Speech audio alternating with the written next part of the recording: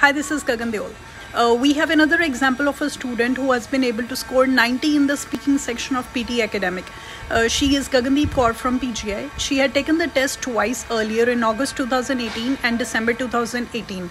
Uh, but every time she was not able to score and her speaking scores were 58 and 63 but but this time after the training from the institute she has been able to score 90 in the speaking section and of course uh, 65 each i mean she has been able to finally get her desired score so uh, let me tell you whenever it is about speaking you know i i really challenge it is uh, a challenge if you're not able to score in the speaking section we can definitely make you score rather 90 Thank you. Have a nice day.